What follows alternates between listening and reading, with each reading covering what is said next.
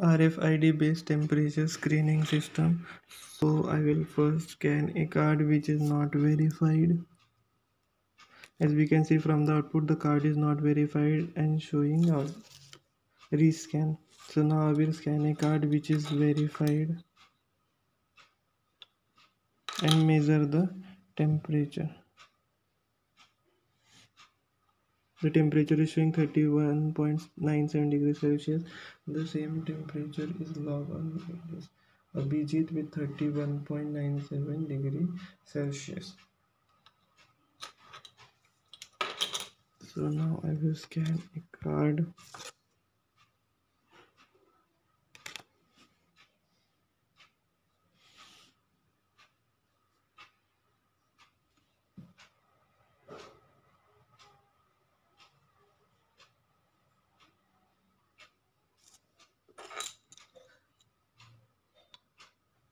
so now this no one is uh, standing in front of the sensor as we can see. So the output is showing away rescan card